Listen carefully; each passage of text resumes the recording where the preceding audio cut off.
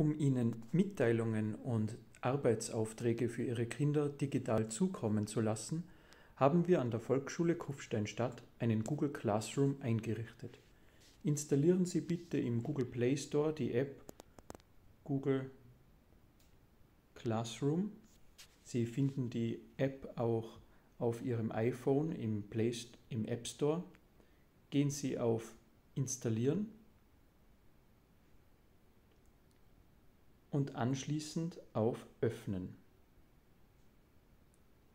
Jetzt starten. Wählen Sie bitte nicht Ihr privates Konto, sondern fügen Sie das Konto für die Schule hinzu. Konto hinzufügen, OK.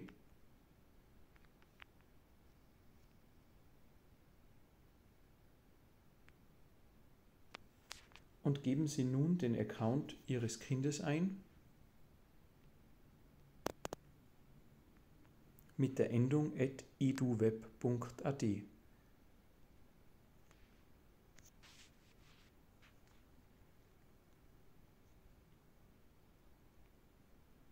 Geben Sie nun das Passwort ein. Sie finden dieses auf dem Informationszettel. Gehen Sie auf Ich stimme zu